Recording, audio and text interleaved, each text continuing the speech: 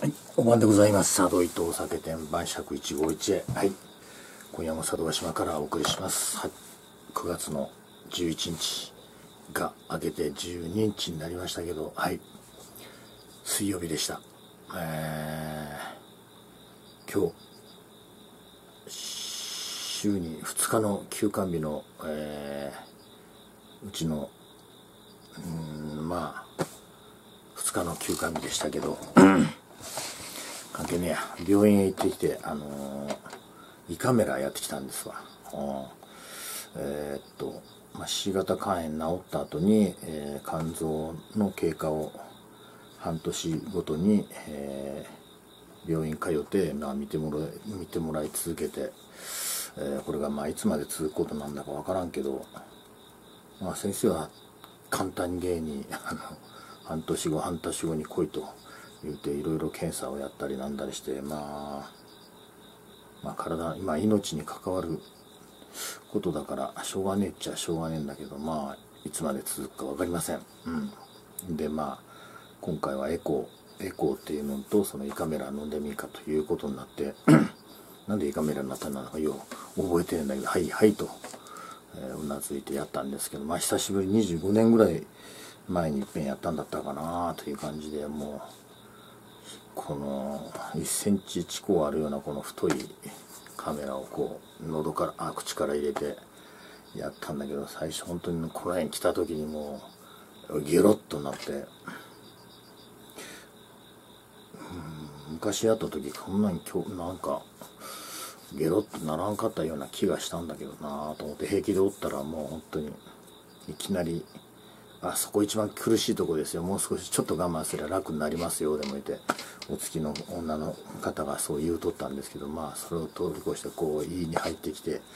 いろいろぐっちゅぐっちゅぐっちゅぐっちゅ、あ、っちこっち見ながらこんな十二指腸の入り口までちょっと一番深いとこまで行ってみますよ。って言ったらなんかもう野暮に 十二指腸腸に小腸に行くぐらいまでのなんかこう腹つつかれるような感じでほんで空気入れとるもんでまあギャップはが出そうになったら我慢してくれとか言われても久しぶりに喉を疲れたというか痛い。うん。で朝飯は食うてこらねんでそんでその検査が終わってからもうしばらくするまであのご飯は食べんでくださいと言われたの。まあ飯を食わんのはいいんですけどね。本当に。結構久しぶりになんかこう胃カメラ飲んで、いい思いをしてきました。ということなんですけどもまあそこでちょっと不思議に思ったことがああいうあの技師というかまあ病院のその、まあ、技師っていうんだかああいう男の先生なわけですけど若い。そういう先生っちゃそのいかに、えー、いいいい検査ができるかっつことに集中今までいろんな検査を受ける時も集中しとったよな。それ一辺倒だったよな。えっ、ー、と MRI の前だと CT を前に CT 取る前に背骨に造影剤を注射するからっつうてそれをやった時もまあ背中丸めてくれとか言って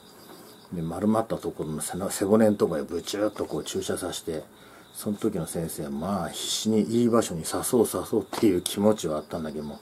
こっちとみしてみれば何されるわからないの初めてのことだと思うんでそれがまたちょっと痛いです痛いですって言われると今日構えてしまう。歯医者さんでもそうだと思うんだけどちょっと痛いですっていうよりはこれはかなり痛いことなはずなんで、えー、そんでその技師の人はもう必死になっても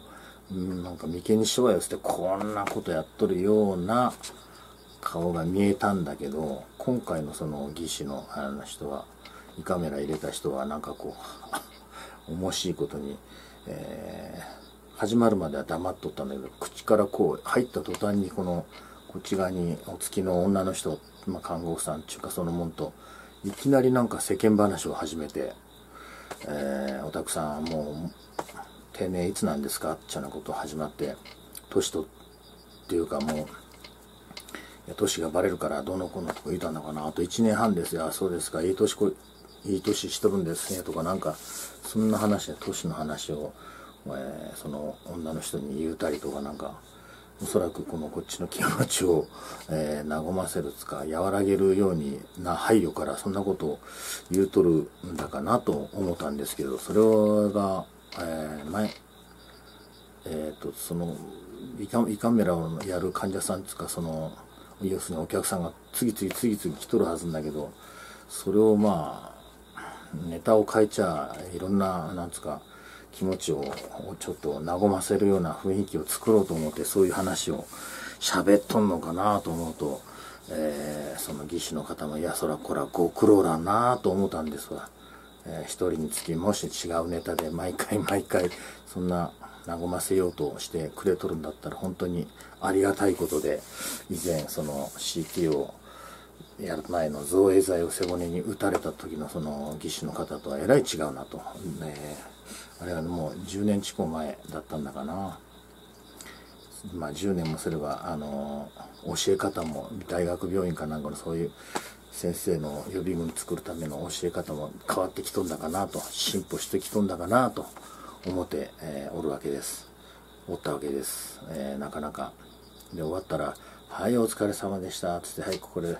もうよだれがベローンとこう出とるわけでそれみんな、はい、そこでみんな出していいですよ。つっても口拭いてんで「はいもう一枚どうですか?」つって紙もろってみんな出してんでこっちでうがいしていってくださいとかなんかこう、えー、まあまあそろっとやってもろて、えー、まあ喉はちょっと突っ込まれたのはいてかったけどそういう部分ではあのちった気持ち的にも楽に、えー、胃カメラ受けられたんだかなと思ったわけですがもうやっぱりそうしょっちゅうはやりとうねえなと思いました、え